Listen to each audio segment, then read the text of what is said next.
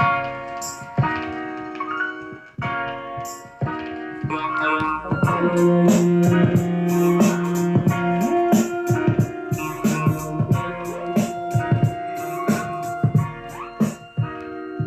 harsh realities of life are taking toll. Even Jesus Christ forsake my soul. Please tell me the price to pay to make it home. Control. I'm making dough, but not enough to blow. J.O.'s, they lost my flow, but they yo.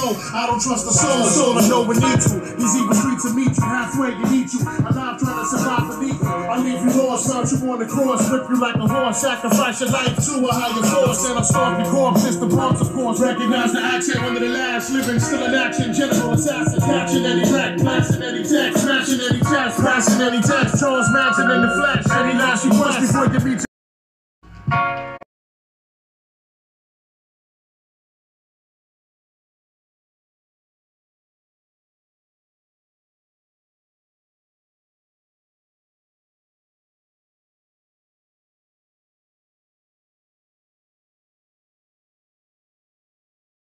I'm finna fuck the game up, man.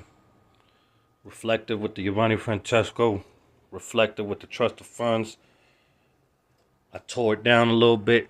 Got the T torn. You know what I'm saying? You see the dollar sign torn. Glitter with the global money. And I just put regular white matte for the symbols. Let me break down the symbols for y'all.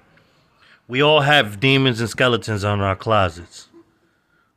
The, the crescent moon represents the higher power to forgive us for those demons and skeletons in our closets. And the anchor is a representation of holding down any situation, good or bad. Hold it down like an anchor. Giovanni Francesco. Trust the Funds Edition by Giovanni Francesco. Stop playing with him. You get me.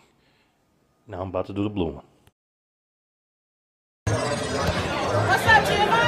What's up, everybody? How you doing? I'm blessed. What's up, y'all? This your girl Queen G. We are here at the first annual Cannabis Awards, and we got Giovanni in the building. Oh my goodness. Stand up, man. San Diego Record Time. What's up? Yeah, yeah, yeah. Tell me when to go.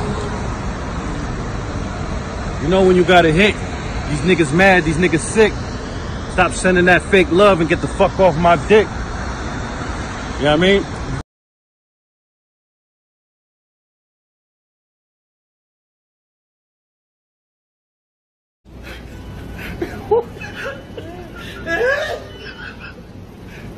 You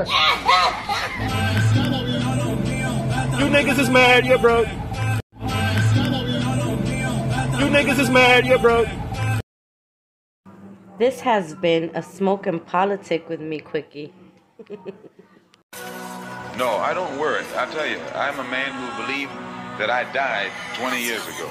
And I live like a man who is dead already. I have no fear whatsoever of anybody or anything.